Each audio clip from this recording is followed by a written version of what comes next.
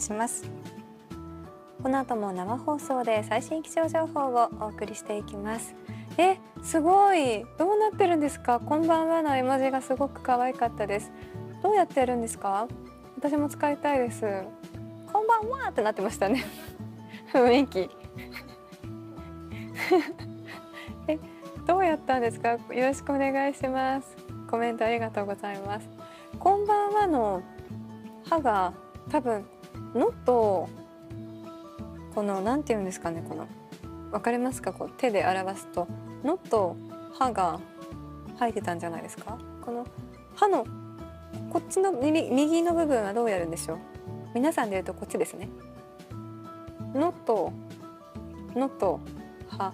あバックスラッシュでできるんですか？